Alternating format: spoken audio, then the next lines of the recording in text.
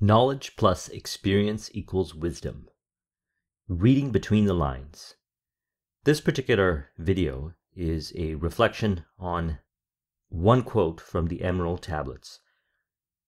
The true student will read between the lines and gain wisdom. If the light is in you, the light which is engraved in these tablets will respond. Now, when I came across this statement, it brought forth a deeper level of understanding of something that I knew during the journey. Perhaps I learned it, perhaps it was awakened within me. But it was this understanding that all information in the outer world, no matter how it's presented, is still interpreted from within. As in, you could take some information and you could present it to somebody, most likely, in all its nuance variation, they have interpreted it in a very unique way. Now, there's certain kinds of information that is very general. However, there's certain kinds of information that we want to assimilate, integrate into our being. That is information that is based on what we call inner world understanding. Now, this information is very powerful because in the personal development world, in the entrepreneurial world, in the world of understanding yourself and evolving yourself, the goal is to build a relationship between the information that is in the outer world and the information that is in the inner world. And upon deeper reflection and integration of the information through experience, we understand and value both knowledge plus experience. Knowledge is accumulated through reading, studying, watching videos, listening to lectures. Experience is accumulated through applying, towards taking the information and applying it towards a goal, a definite chief aim, to bring it into completion, to create. Now, in the process, we acquire wisdom. Wisdom is said to know the difference. And wisdom is a infinite continuum. It goes on forever.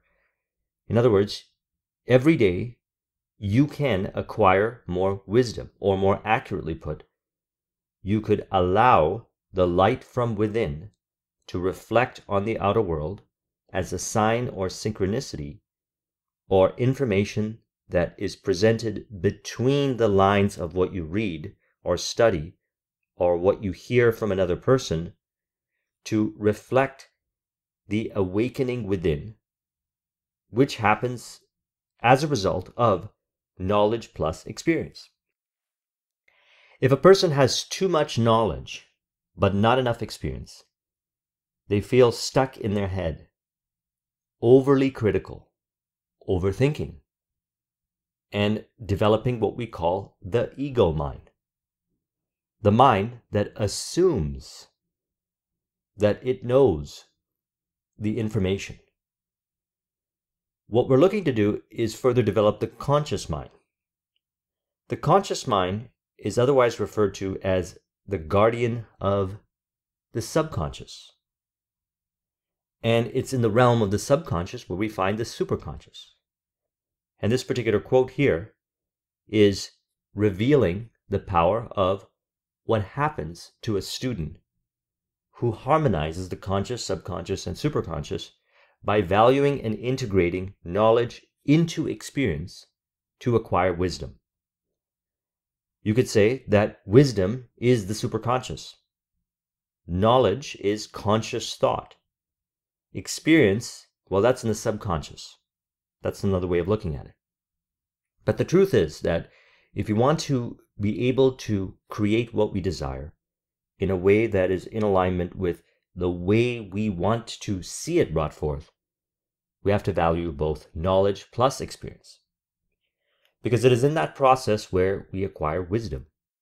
And then when we study further knowledge, or even go back and read the same information or study the same information again, we'll find that the light that has been awakened within us as a result of the integration of knowledge and experience, which is the wisdom, will reveal itself further in what we are learning. In other words, we will understand it even more so. Now, there's certain books that I read over and over again. One of them is As a Man Thinketh by James Allen. And I've been reading it for many years, over and over again. I listen to it in audiobook format when I run. And absolutely every single time that I listen to the audiobook, I learn something new. And I believe the fundamental reason why this is true is because I learned very early in my journey that I could go about acquiring lots of knowledge, but if I don't have a place where I can apply that knowledge, I won't really know if that knowledge is true. And more accurately put, I won't even know if it's true for me.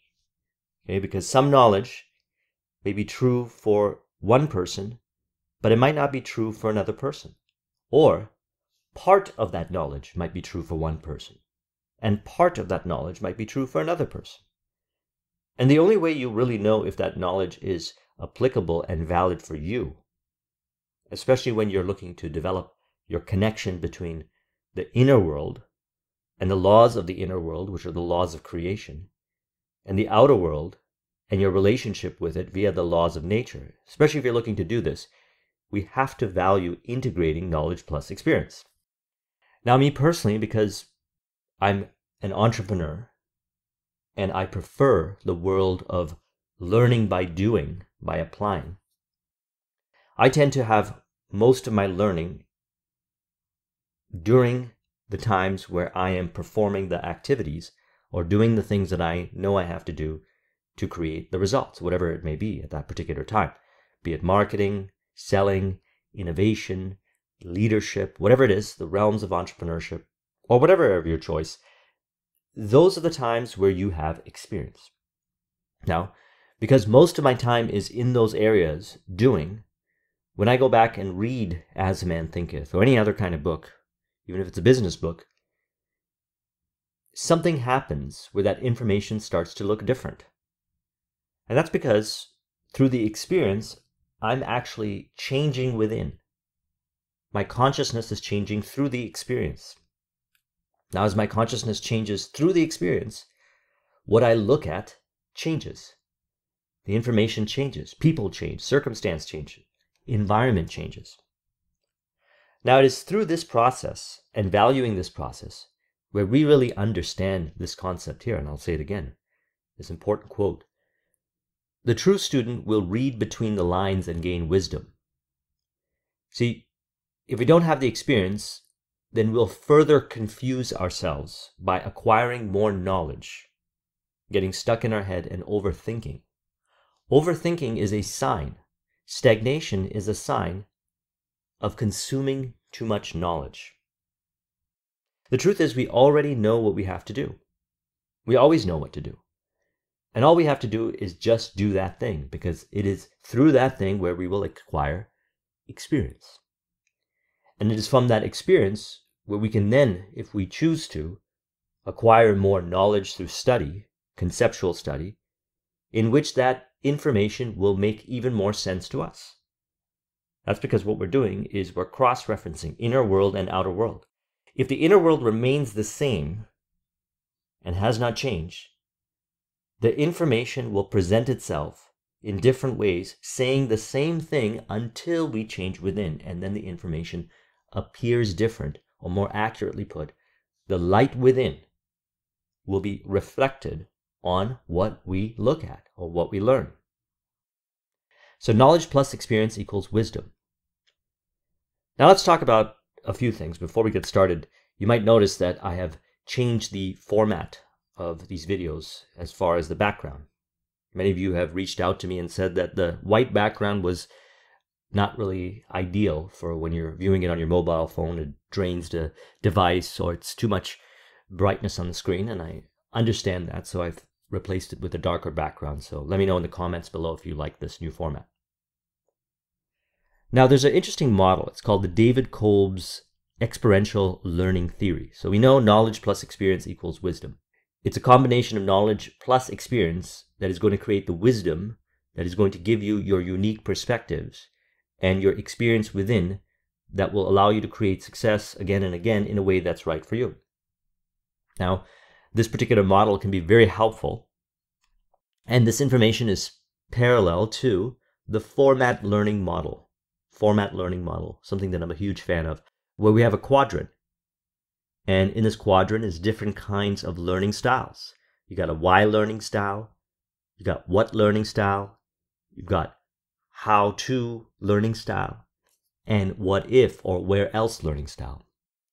And we actually are a combination of all these learning styles, but some of us have a bias towards one or another. The goal is to harmonize all these learning styles, to bring it all together. Remember, the mind likes to take things apart.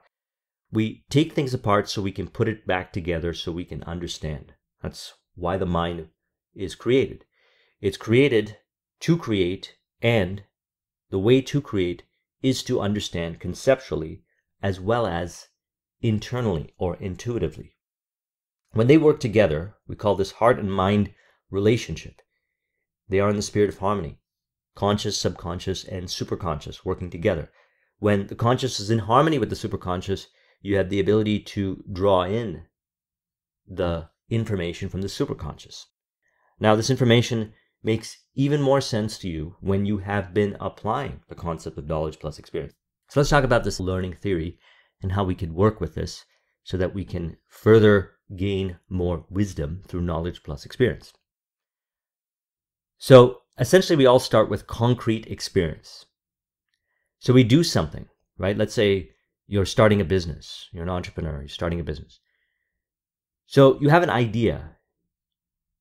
Many entrepreneurs will go down a certain pathway where they take that idea and they begin to dwell upon it and overthink it and plan too many things and not take the very first step which is to put it out in the marketplace and make an offer to another person, thus getting stuck in their head again. Too much knowledge. Now, what he's talking about here is experience. So, what we want to do is get version one out as fast as possible, minimal, as fast as possible, so we can get the experience. What does that mean? It means you create your first prototype and you go out there and you make an offer and you see if people are interested in it. Concrete experience is gathered through that very process. Now, if people accept it, then you can figure out how to optimize it and make it better.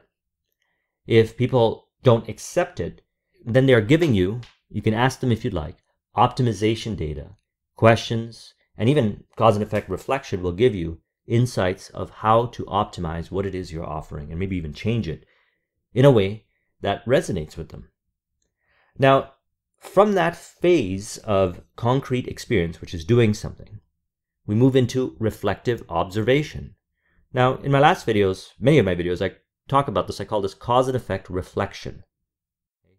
Cause within and effect in the outer world reflection, as in you had a way of thinking, and then you went out there and acquired some concrete experience, which is the effect, and then you saw the experiences happen, unfold in the outer world. After that, you reflect. He calls this reflective observation, which is reviewing and reflecting on the experience and asking some questions. What can I do to make this in my favor? Ask yourself within. You'll get the answer within. Or if you don't, then perhaps you go to some knowledge or you connect with someone who's an expert who can help you. And then after that, we go into the next phase abstract conceptualization which is concluding slash learning from the experience. So when we reflect upon what we have done and the response we get, we gain some insights as to what kind of questions to ask. Now, here's the thing going back to the quote that I mentioned earlier from the Emerald Tablet. It says, The true student will read between the lines and gain wisdom. If the light is in you, the light which is engraved in these tablets will respond. Well, the light or the light bulb moment happens through the reflective observation. And it is facilitated through the concrete experience. Now, when you have those two dynamics in place, you go out, you seek counsel, you read the books, and you get a integration of what you read, what you learn, based on your experience. So you get further knowledge based on the experience. And now you have a higher degree of wisdom. And then you go into the next phase, which is called active experimentation. Active experimentation, which is planning and trying out what you have learned. So, again, to repeat this process, you have an experience, you try something. Perhaps it goes your way, perhaps it doesn't go your way. You reflect upon it. If it doesn't go your way, or it doesn't present itself in how you thought it was going to present itself in the outer world, you reflect upon it, you learn from that experience through acquiring some knowledge and abstract conceptualization, which is integrating your experience, your existing knowledge, plus your inner voice internal understandings, plus perhaps some concepts and ideas from others. And then you go and do it again. So, what you'll notice this time is that you will take a step forward. And the process repeats itself in the entrepreneurial journey, and it could go in any one of these directions. You can end up optimizing your product or service in a way that people actually receive it, as in they want to buy it. Or number two, it awakens within you ideas, hunches, and inspirations to change the product around or move into a totally different industry and do a totally different offer. That can happen as well. Now, all of this is happening from a place of flow. If it gets stuck in our head or we have an overly developed ego mind, we're going to try to force the same thinking into reality, and we are not following this process. So, there are six main characteristics that he talked about, very important. Now, by the way, you'll also see the parallel between the 4MAT learning model. Because the reflective observation is more of a why learner. Wants to know why everything is the way it is and how does it relate. The abstract conceptualization is more of a what learner. The theory, the concepts of how everything works together. And then the active experimentation is the how learner who wants to learn by doing. But we're working with all of these in harmony. We're integrating them all together. And then finally, the concrete experience is the what if learner or the where else learner, otherwise also known as the entrepreneurial learner, who tests, tries, and creates experiences so that they can further go in and optimize and evolve within and thus evolve what they're offering. Remember, we're bringing into harmony here the inner world and the outer world. So here are the six main characteristics of experiential learning. Number one, learning is best conceived as a process, not in terms of outcomes. Now, I paraphrase these to make them more related to the kind of information that I share in this channel, which is has a mystical component to it, has a very, you could say, logical component to it, has an emotional aspect to it, and a spiritual aspect. I always aim to integrate the physical, mental, emotional, and spiritual, see them all as one. So learning is best conceived as a process, not in terms of outcomes. We call this the journey. The journey. And I always say this value the journey and see it as valuable as the destination. See it as one. That way, you will value the concrete experience. You will value the stage of reflective observation you will value the conceptualization, abstract conceptualization stage, and the active experimentation stage, and you will find more joy and bliss on your journey to creating success, whatever it may be for you. Number two, learning is a continuous process grounded in experience. So, learning is not based on personal development or this kind of information that we talk about on this channel, based on consuming a lot of knowledge, a lot of theory, if you do that with this kind of information, you will get stuck in your head. You'll start to overthink. I've seen this many times. I've spoken to many individuals about this. What you want is you want to ground your knowledge with experience. You want to apply it. Now, this is also how we let go of the ego, otherwise known as purifying the mind and purifying our intent.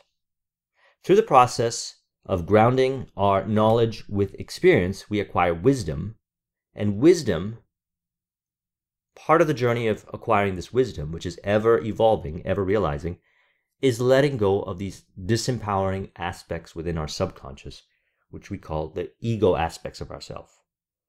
And it purifies the mind, and purifies and clarifies our intent. What are we looking to create? Who are we looking to create it with? How we are looking to create it, and to do it in the spirit of harmony. Number three, learning is the resolution of inner conflicts, or I would say finding order in chaos. Okay, finding order in chaos. We have to be able to embrace chaos for this particular kind of learning. We can't run away from it because if we run away from it, then we might delude ourselves with acquiring more knowledge. And that's a sign of fear. Could be one of the six basic fears by Napoleon Hill. Could be a fear of criticism. Fear is fear, but those are some categories. If a person identifies with fear, what I've seen this many times, they will bias over to acquiring more knowledge to soothe them. But it will result in further creating internal convolution, conflict, and confusion because they're not harmonizing that with experience. Now, if you'd like to just accumulate a large amount of knowledge and be able to talk about something, then by all means. But if you want to create results in your life, experience success, then we want to combine knowledge plus experience. So, in order to get the experience, we've got to be okay with stepping into chaos. And you've heard me mention this before. There's three types of chaos. There's flow based chaos, as in you put yourself in challenging situations and you acquire more skill through this learning process. You place yourself in controlled chaos, which is projects or circumstances that are challenging and don't necessarily keep you in flow, but you consciously place yourself in those circumstances, whether it be leaving a job and starting the business, moving to another country, something that you would say really steps you outside of your comfort zone. And causes you to go beyond your terror barrier. Now, as a result of doing that, you also learn really fast, rapid learning. And I recommend doing this a portion. I prefer mostly being involved with flow based projects, flow based activities, and then diversifying it with some controlled chaos. Now, chaos, just pure chaos, is usually things we don't plan. Outer world circumstances change, the environment changes, things happen in the outer world that we did not foresee, we did not consciously foresee. And even in those experiences, we have the opportunity to learn.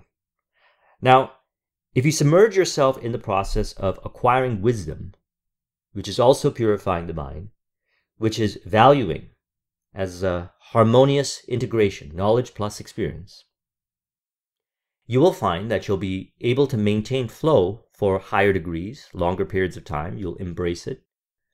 You will also be able to perform better in controlled chaos, which will cause you to grow and learn and evolve. And really, what's happening is you're resolving your inner conflicts. Remember, the goal here is to harmonize the laws of creation and the inner world with the outer world and the laws of nature.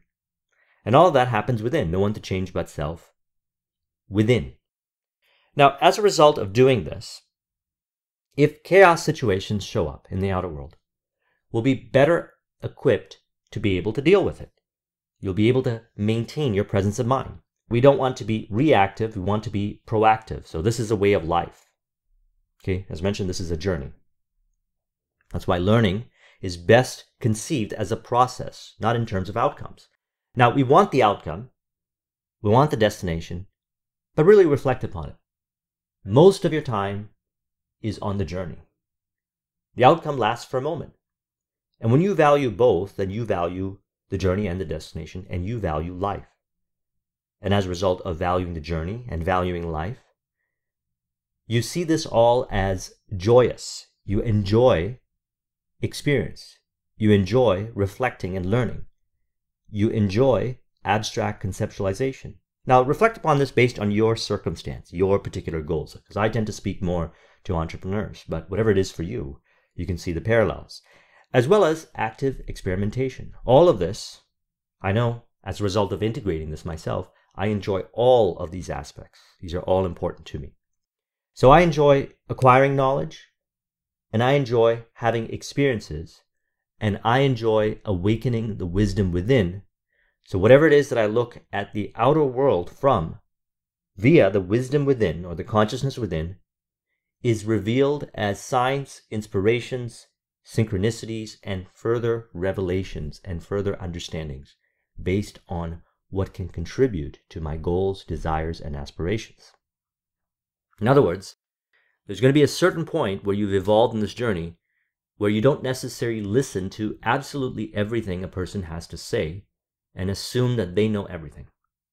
You'll be able to read between the lines and think more so for yourself. Eventually, you'll be able to discern with such vividness that you will respect and understand the opinions of others while honoring your own, what is right for you, listening to your intuition and your inner voice, and creating success from that perspective. Number four, learning is a holistic process of adaptation to the world, inner world and outer world. If you got conflict within, it's going to show up as you having conflict with the outer world people, environment, circumstance, and information. Remember, through this process here, and this is how it's done it's through this process, put it to use. Figure out how you can take what's being discussed here and apply it. Through this process, you harmonize the laws of creation, which is within, which you've been discussing over many videos, and the laws of nature. Again, remember, if you keep consuming the videos or you keep reading the books and you keep acquiring more knowledge, you may end up getting stuck in your head, overthinking, having mental rigidity. The key is to do and have more experience. Really integrate this entire David Kolb's learning theory, and you'll find that it'll be very helpful for you. And it'll bring you back into flow and eventually autotelic, where your actions and awareness is one. See it all as one. Because remember, as I share in my videos over, I don't know, last 30, 40, 50 videos that I've done, most of this is subconscious. The conscious mind chooses, guards the subconscious mind. We don't allow it to get to a place where the conscious mind becomes identified with aspects where we create the ego mind. We want the conscious and the subconscious working in harmony. And through the learning theory, the conscious mind is doing what it needs to do to create your success, which is reflective observation, abstract conceptualization, active experimentation, and the concrete experience is really the conscious subconscious in the experience, having the experience. And even in those moments, you will notice as you continue in this journey, the light from within will bring forth the superconscious in those experiences more so. Number five, learning is a relationship between the person and the environment. Okay, key word here, this is all relationship. All is one, and we take things apart to put it back together again, to see it all as one. It's okay to break things apart into concepts, and certainly knowledge is a whole bunch of different concepts. For example, in the business and personal development world, you'll find all kinds of different knowledge, and it can be very overwhelming on the volume of knowledge. Understand that all that knowledge is broken down, discussed from different perspectives, all communicating the same thing from different perspectives. When you get to a certain level of wisdom, you'll see it. You'll see it's all integrated. And the goal is to pick and choose what works for you and apply it to experiences so you can find a process, a formula, a set of principles that work for you that produces results again and again and again. And then number six, learning is a process of creating knowledge through experiences otherwise known as expressing the light from within. So this brings us to a nice parallel between the quote. So I'll read the quote again. The true student will read between the lines and gain wisdom. If the light is in you, the light which is engraved in these tablets will respond. So it is through the experiences where we create knowledge. We create our own knowledge. Now, it parallels the knowledge that you will read in books. It'll parallel the knowledge that you read or you learn from others who really understand how this stuff works. It'll parallel, it'll be accurate. Because the information at the core down to the order level within the chaos is absolute and precise.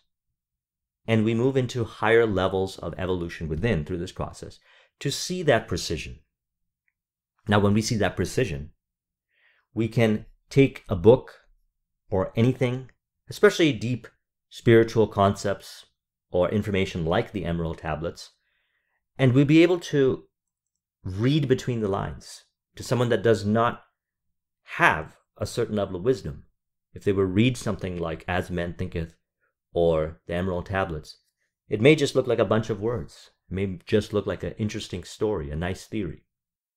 But it is only through the journey, which is the experience done through a format like this, where it, there's an integration between knowledge and experience, where you start to awaken certain aspects within you.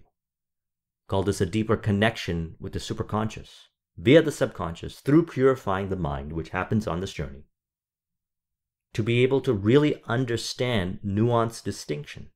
Nuanced distinction. Now, nuanced distinction implies and keeps into consideration the law of polarity. The law of polarity states that there are two poles and there are varying degrees in between. It's a concrete experience that you're having. You feel reactive to that information. You reflect in observation and say, what is causing this reactivity within? What is the belief, the assumption, the programming within? Conceptual, or then we go into abstract conceptualization. Where can we learn what new beliefs, what new assumptions, what new information can we learn as a result of this experience? And we can integrate it into one of the subconscious mind modalities that I talk about, or whatever modality works for you. And then what you'll notice is that you will no longer polarize to that same degree between the scale. Now, as you continue to go through this life journey, you're learning, you're growing, you're evolving. And then you understand that information that you once were reactive to in that scale of polarity. It now makes sense to you. So then when you go and read some information that may appear to be very esoteric and abstract, it's going to make more sense to you because it's speaking to that wisdom that you have acquired within. What we're really doing then is creating a nice integration and harmony between the four realms of existence physical, emotional, mental, and spiritual. Now, all of these are experiences that we have as a result of valuing knowledge plus experience. So, again, understand the bias. If you have too much experience but you're not making progress, you can balance it off. You can harmonize it with knowledge. If you have too much knowledge, you get stuck in your head, you overthink, you become overly reactive, you have to get yourself more into the realm of experience. And it is through this process where you acquire the wisdom. You'll be able to understand more nuanced variation, nuanced distinctions. That's what is essentially between the lines. If someone gives you some information, you're going to be able to see far more within that information than they even realize that they're communicating because most of them perhaps is subconscious and has not been brought into conscious awareness but you'll be able to understand based on what they share with you what is really going on behind that information. It's going to be really valuable for you. Now, this information will be very powerful for the entrepreneur because the entrepreneurial journey is riddled with nuanced distinctions and understanding those nuanced distinctions, which is experienced through the accumulation of experience and knowledge in harmony. So, not biasing one or the other, so remember the four aspects of the 4MAT learning model the why learner, the what learner, the how learner, and the what if or the where else learner. We want to integrate them together. We want to harmonize them. Just like we want to value all four aspects of this learning theory the concrete experience, the reflective observation, the abstract conceptualization, and the active experimentation. If you want a copy of this mind map, the link is in the description. Thank you very much for watching. I'll talk to you soon. Take care.